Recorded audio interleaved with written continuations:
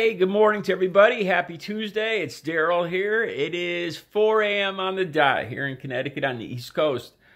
I got a couple different things I'd like to talk about today. It looks, it's starting to look a lot like Bernie Sanders is going to take the uh, Democratic uh, nomination.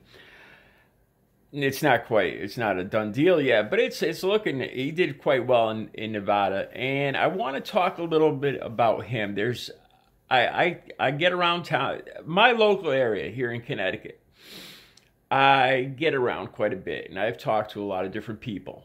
I've talked to a lot of Trump supporters in particular, and in this particular area, I, I want to share with you guys what I discovered, what I what I came across, just a cross section of the opinions that I heard. All right when we discussed Bernie Sanders, what I discovered is uh, overwhelmingly it's white older voters that I talked to uh, from my age and up 50s, 60s, 70s. Um, there were a few in the 40s. The majority of these people get their information directly and uh, strictly from Fox News. Um, what I discovered is before, when Biden was looking to be the candidate, a lot of stuff Fox will center on him, and stuff started. They started putting uh, propaganda out that he was a, a grabby guy with the women. That he, I actually had one Trump supporter tell me that he molested a twelve-year-old girl, and I, I investigated. That was completely false. Completely false. Um, and now that Bernie is looking to be the candidate, Fox News is honing in on Bernie what I discovered is uh, the funny thing is all of these Trump supporters, I heard the same thing, and I started to wonder, well, how, where are these people getting this information? It didn't take me long to figure it out. Overwhelmingly, from these, these are these are almost all white. One, a couple forty, and I'd say about ten to twelve to fifteen people, eh, equal women and men, sixties, seventies, and they all said Bernie's a communist. He's going to make our country like Cuba and Venezuela. And they specifically, specifically said Cuba and Venezuela. Now, I know for a fact that these people don't pay much attention in general to world politics, to geography. And I was curious to know how how, they know so much about Venezuela all of a sudden or Cuba. And it started to come to light. Um, this is what's on Fox News. Uh, Fox News is honing in on the, these exact people, older people that are scared that Bernie Sanders is going to turn the country into a communist country, take away everybody's guns, uh, take away everybody's rights, and it's going to be like Russia. That that is what they truly, truly believe. They are they're downright scared. Um, I had two or three of them tell me that if Bernie Sanders is elected, they are going to move to Canada. They will not live under Bernie Sanders' communist rule.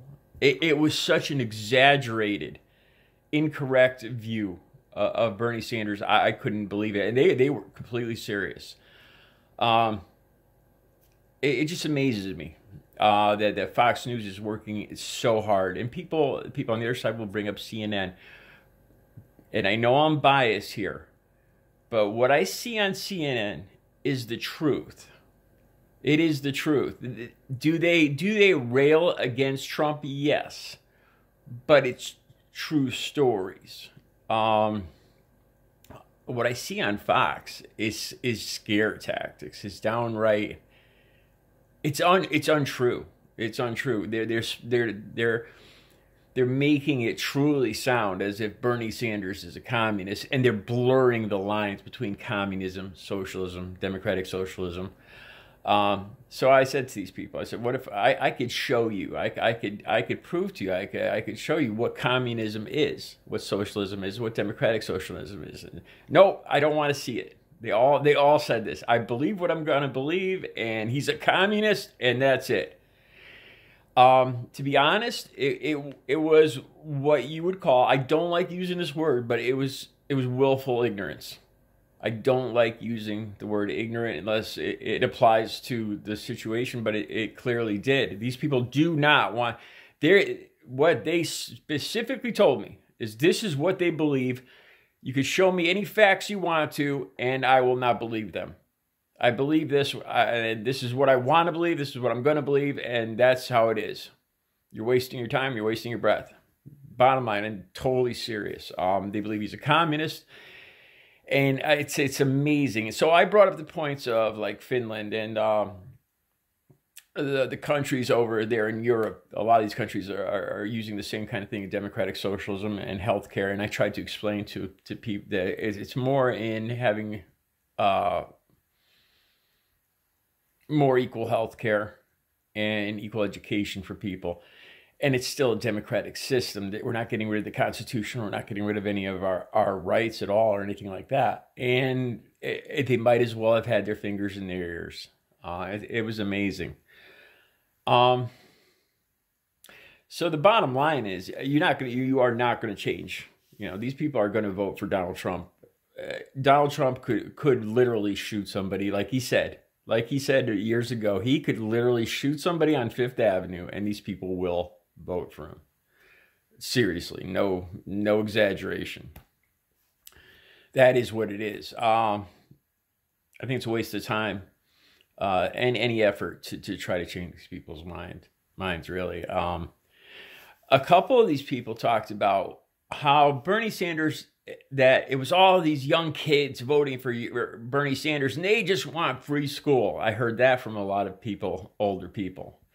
They just want free school. They want a free ride. And I, I had a hard time keeping my composure during these conversations. Um, and I explained to I explained to, I started, I, I tried to have a calm debate with these people. Uh, and this was, this was about five different conversations over the period of about five days with uh, different groups of people.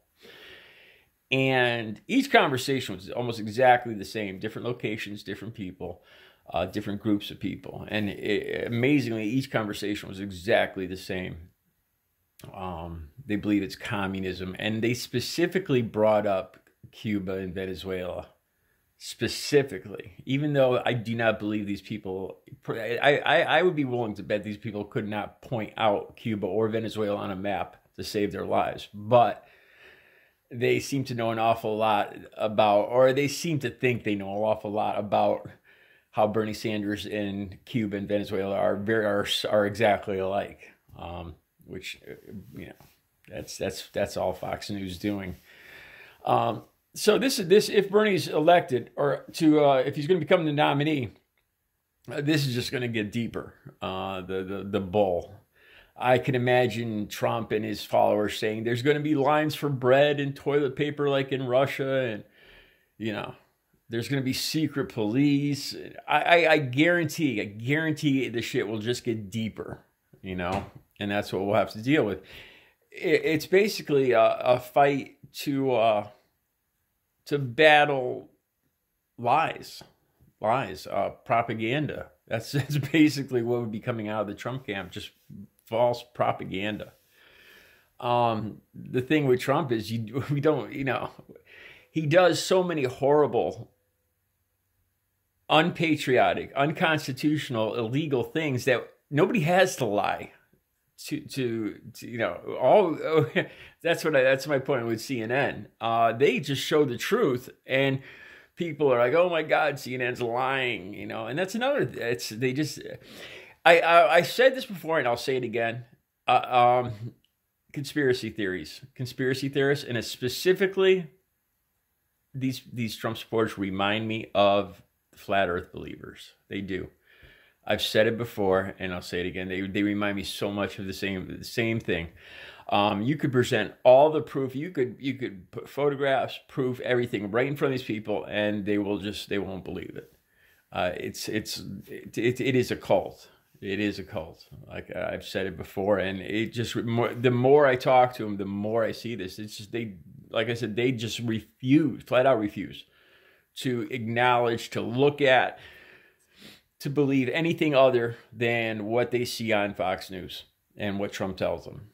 It, it's it's downright scary. It is. They, they, it's like they've given up uh, given up their reasoning, their power of, of reasoning. Or the, most people have a curiosity, to, you know, a, a natural curiosity to learn to find out different opinions and make a judgment. These people, there is the, there is none of that. It, it's a done deal. Um, and I think it's fear. It's fear. Fear is the motivator here.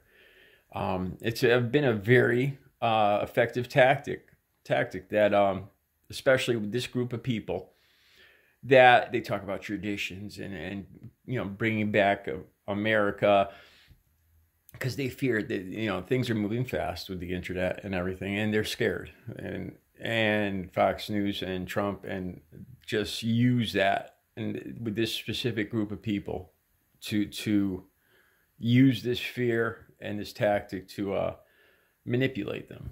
Without a doubt, that's what it. That's it's manipulation.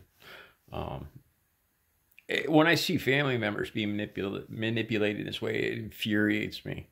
Um, that that there's politicians out there affecting the the thought process of my family um, to this extent that they don't they refuse to even hear. like I said, my fam my family is very similar. So uh, our our Trump supporters probably not to this extent, but close, and it, it bothers me um, that they seem to be centering on the older population too, and the fear of any kind of fear of change.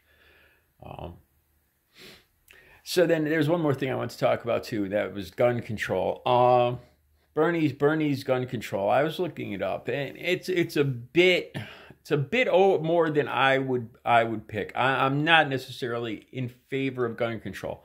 Mass shootings are a huge problem. We need to do something about them. We need to do something about mental health. Uh, we need to do something to keep these guns out of the hands of mentally unstable people. That's first of all. I think the, the term assault weapon is too ambiguous for me. Um, it, it, a lot of people just a scary gun to them. Like I said, I, I was raised around guns. Uh, if they see a pistol grip, they see a folding stock. Um, you know, the black finish. It's a, it's an assault weapon, and I can understand. You know, uh, a folding stock, I don't agree with. Some of these things, I don't agree with. I think maybe a ten round limit on the magazine might be a little better. Uh, 15 rounds can do a lot of damage, but so can uh, uh, a 12 gauge Mossberg with uh, double loaded with double aught buck it could do a hell of a lot of damage to a group of people. too. if if somebody wanted to, could do a hell of a lot of damage, or or even a nine millimeter pistol in the hands of somebody that, that could handle it. Um, these are these are they're all da- very dangerous weapons. Um, that 15 round clip, though, I, I don't know. I know I know I'll catch a lot of flack for that, but um, I think a 10, maybe it's maybe a 10 round, going down to a 10 round clip. I, I don't see a lot of purpose in banning AR 15s or the similar weapons because, uh, well, they, the, the cartridges cartridges they shoot are, are small, small cartridge or smaller cartridges. They're, they're not high powered cartridges. Um, and another thing is these guns are already out there. There's there's millions of these guns already out there. So you ban them for people to legally buy. People that do want to protect their home, people that want to target shoot. And there's just going to be people that have there's going to be plenty out there for that people if they want to purchase them there's if there's millions out there already there's we're not going to get rid of them i don't i don't see even if you have gun buybacks and like I said before, the the the, the uh, what's the horse is out of the barn, the cow's out of the barn on that one. Uh, it's kind of late. Um, I, I, think something needs to be done about the prolif- proliferation of, of these mass shootings. It's, it's you know, this, like Nevada is is terrifying. What happened there? Um, but it's hard to get into somebody's mind. Um, you know, you you could have somebody that has no criminal background that just is pushed over the edge one day it's it's it's a it's a scary, uh, tough problem to tackle. It really is, and I don't know if uh, if banning these assault we- assault weapons. Like I said, I just don't like that term, uh, assault weapon. It's just it, it describes the the look of a gun really more than the function of it. Um, to a lot of people, it's just a scary gun, and not knowing anything about what it fires or or why or anything I think it's too ambiguous of a term, assault weapon. Um, I, am not, like I said, I'm not crazy about the folding stock either, because that, that's just made to hide the gun. And I can't see any really good uh, freedom loving reason to have a, a, hidden gun, a folding stock, really.